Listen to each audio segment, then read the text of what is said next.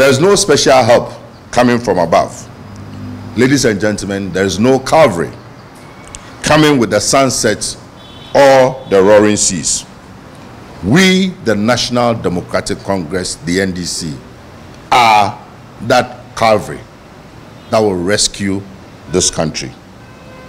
You and I are the only ones who can save this country one more time.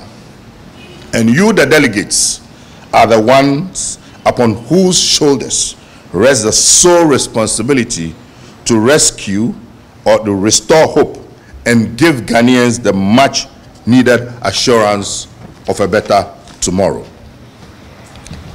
This is why I say to you that you are playing the role of God and you must see your responsibilities both as democratic and spiritual because the very survival of this country and this democracy rests on the outcome at our Congress in December.